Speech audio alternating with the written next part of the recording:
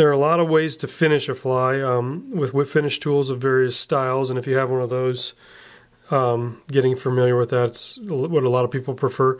One way we wanted to cover in the um, on the Allen Brothers video series here is what's just the hand half hitch, um, and you can do a series of those instead of a whip finish, and it does a real durable, um, real durable finish knot. So basically, you take your two fingers and you bring them up on the from behind the thread will go travel around our both fingers. You're going to create a diamond or a little triangle there, right angle with the thread.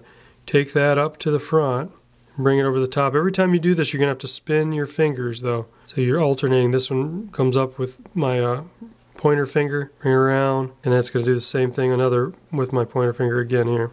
Then you want to just keep that tight with your middle finger, pop it off, insert a, either a dubbing needle or, or some kind of um, bodkin or a scissor tip, and then just pull with your thread, bobbin thread, and um, just tighten that down. And, and then once you've really tightened down that half hitch, you can clip it off, and there's the finished fly.